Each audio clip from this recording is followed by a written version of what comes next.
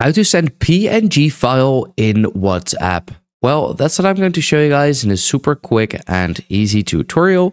So if this video helped you out, please let me know in the comments or just leave a like so I actually know that this video helped you out.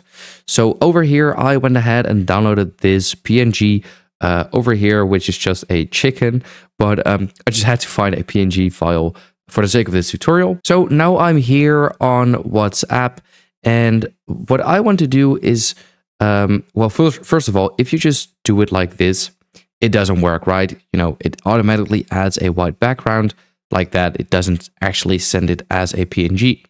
So what you want to do instead is click on the plus icon in the bottom left corner, then uh, click on document.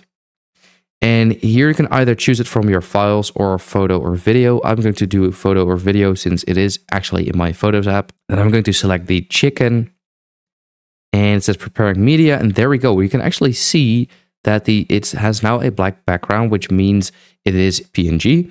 I'm going to click on send and there we go. We actually sent this as a file.